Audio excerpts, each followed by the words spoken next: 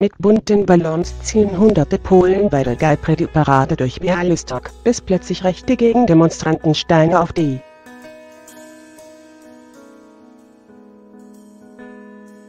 LGBT-Community werfen.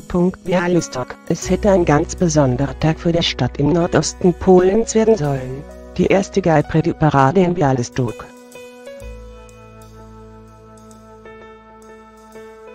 Doch rechte Gegendemonstranten attackieren den friedlichen Marsch.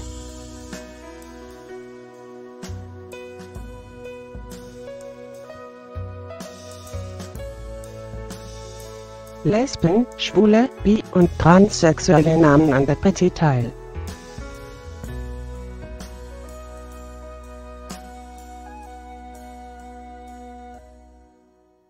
Sie werden unter der Abkürzung LGBT zusammengefasst.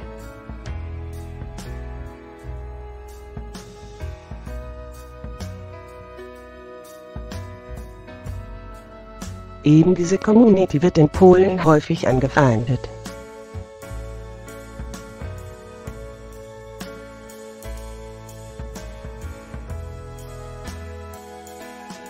Bialystok, Polen. Erste Gay-Parade von Hooligans mit Steinen beworfen. Rund 800 Menschen gingen am vergangenen Samstag für die Rechte von Lesben, Schwulen, Bi- und Transsexuellen auf die Straße.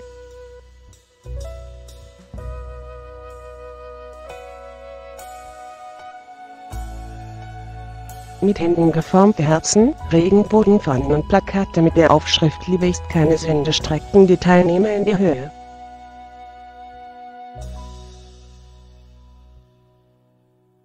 Die Sonne schien bei warmen 26 Grad auf den friedlichen Marsch.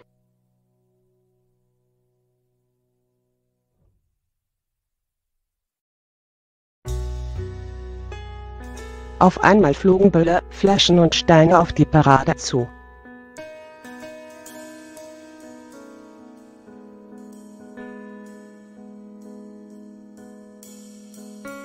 Untermauert von den lauten Parolen der rechten Gegendemonstranten. Die erste Gay-Parade im nordmazedonischen Skopje verlief wieder erwarten störungsfrei.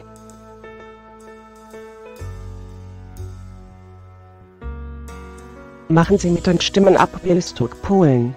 Hooligans werfen Böller und Flaschen auf LGBT-Gemeinde schon im Vorfeld.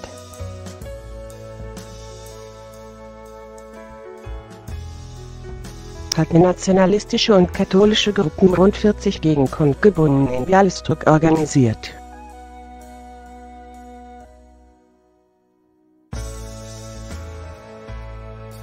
Im Rahmen der homofeindlichen Veranstaltungen gingen die Teilnehmer auf die Degay-Parade los.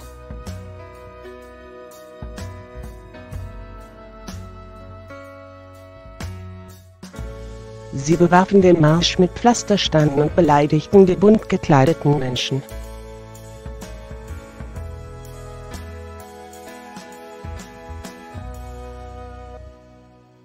Die Polizei verhängte gegen 16 Personen Ordnungsgelder, wie die katholische Nachrichtenagentur berichtet.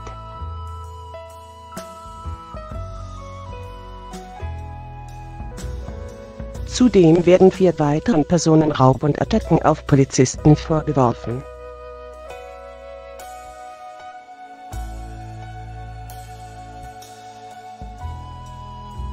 Diverse Videos kursieren im Netz, in denen Hooligans und rechtsextreme Fußballanhänger die Teilnehmer der Parade schlagen und anspucken.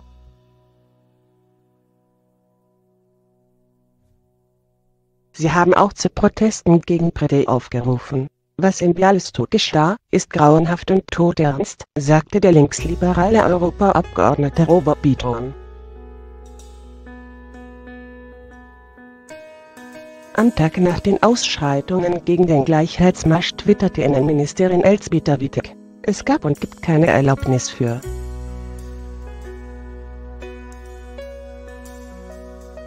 Rordühaftes Verhalten Bialystok Polen Homofeindlichkeit an der Tagesordnung Homophobie ist in dem osteuropäischen Land weit verbreitet.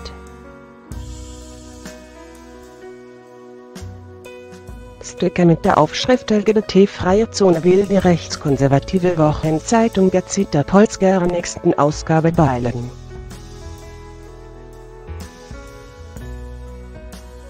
Erst im April hatte der Chef von Polens rechtsnationalistischer Regierungspartei Recht und Gerechtigkeit, PiS, Jarosław Kaczyński,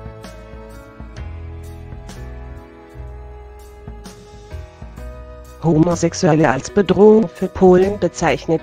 Mit Anfeindungen hatte auch der polnische Ex-Priester Krzysztof Karenza zu kämpfen.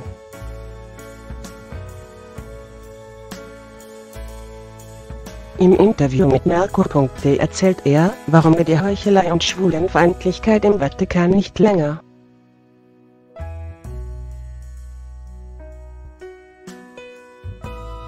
aushalten wollte.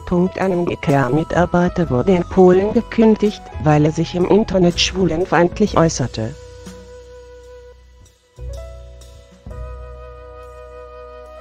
Was die Kirche damit zu tun hat, lesen Sie auf merkur.de.